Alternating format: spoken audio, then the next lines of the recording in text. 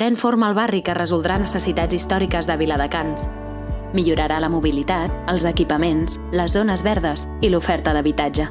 El barri de Llevant.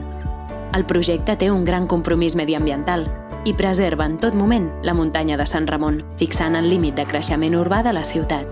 Per això, en aquesta primera fase s'ha recuperat i protegit el patrimoni històric i ambiental. S'ha restaurat la xamaneia de la bòbila de Sales, catalogada d'interès patrimonial, que serà al vell mig de la plaça central del nou barri. S'han trasplantat amb èxit més de 300 arbres, majoritàriament garrofers, en una zona preforestal que queda integrada de manera natural amb Sant Ramon. S'ha preservat una espècie de gripau protegida, i s'han creat tres noves basses que en faciliten la reproducció. A més, s'han incorporat zones de pas per la fauna sota el vial de cornissa i es connecta la trama urbana amb els camins forestals de Sant Ramon.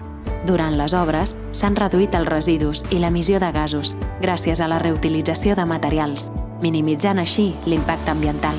A Viladecans volem ser la ciutat referent en desenvolupament sostenible.